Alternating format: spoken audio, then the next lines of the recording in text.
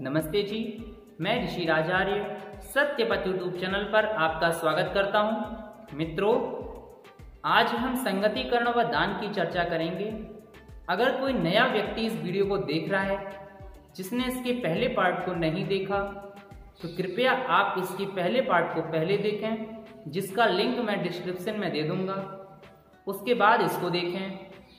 क्योंकि आप उसको पहले देखेंगे और फिर इसको बाद में देखेंगे तो आपको यज्ञ की महिमा, यज्ञ का लाभ व यज्ञ का महत्व पूर्णतः से समझ में आ जाएगा।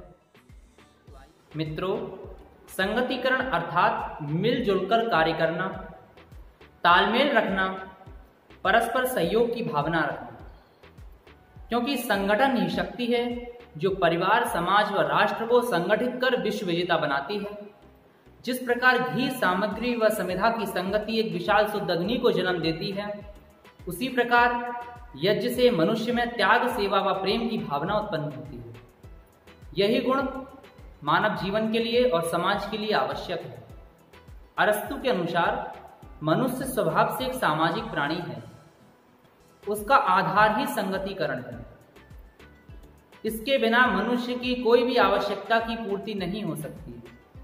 ना ही किसी सभ्यता व संस्कृति का विकास हो सकता है। मनुष्य की आवश्यक व स्वाभाविक प्रवृत्तियाँ और मानव निर्माण के लिए संगतिकरण अनिवार्य है।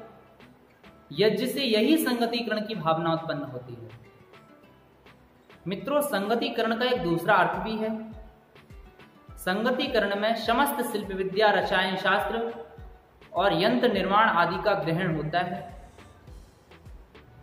अग्निदेव के माध्यम से, अग्निदेव को विभिन्न यंत्रों में समायोजित कर अनेक कार्य सिद्ध किए जा सकते हैं। अग्नि का एक सूक्ष्म रूप विद्युत भी है। वेद कहता है यज्ञन वर्धत।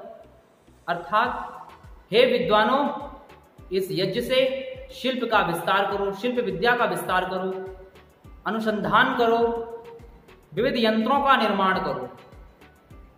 धन धान्य को प्राप्त हो आज आप देखते होंगे जिन देशों ने आग विद्या को जाना, उस पर रिसर्च किया, अनुसंधान किया, आज वे फल फूल रहे हैं।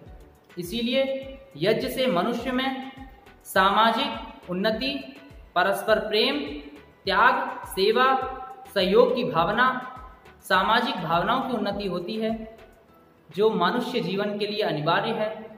इसके बिना मनुष्य जीवन असंभव है। आगे आता है दान, जो यज्ञ का तीसरा उद्देश्य है।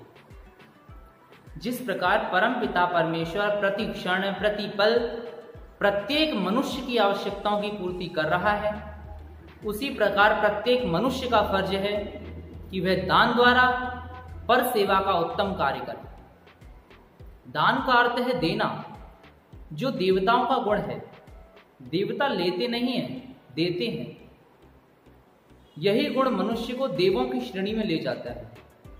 इसीलिए प्रत्येक व्यक्ति को कुछ ना कुछ दान सत्कर्मों में अवश्य देना चाहिए। कहा तो ये गया है कि हे मनुष्य, तू सौ हाथों से कमा तो हज़ार हाथों से दान कर। दान का अभिप्राय है कि अपनी उपलब्धियों का लाभ आप अकेले ना लें। अपितु परिवार, समाज व राष्ट्र के हितों में लगाएँ। दान अन्न व धन का ही नहीं, अपितु विद्वान विद्या का दान करे, धनवान धन का दान करे, बलवान शक्ति का दान करे और श्रमजीवी सेवा का दान करे। दूसरों के हितों की सहायता करना ही सच्चा दान है। एक बार स्वामी दयानंद जी महाराज दान की महिमा पर व्याख्यान कर रहे थे। एक जुलाही ने खड़े होकर प्रश्न पूछा कि महाराज, मैं अति गरीब हूँ, बहुत निर्धन परिवार से हूँ, मैं दान का लाभ कैसे ले सकता हूँ? स्वामी जी महाराज ने उसको उत्तर दिया, उसको समझाया, उसको कहा कि तुम जितनी रुई जिसकी लेते हो, उतनी ही उसको वापस कर दो, यही तुम्हारा सबसे बड़ा दान है। वास्तव में यही सच्चा यज्ञ है।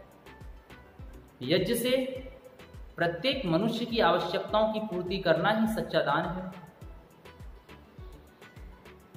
इसी प्रवृत्ति से बलवैश्व देव यज्ञ, पितृ यज्ञ और अतिथि यज्ञ की पूर्ति होती है। मित्रों, हवन से जड़ देवताओं को प्रसन्न किया, परस्पर मिल बैठकर संगठित होकर यज्ञ किया घी व सामग्री की आहुति देकर दान किया।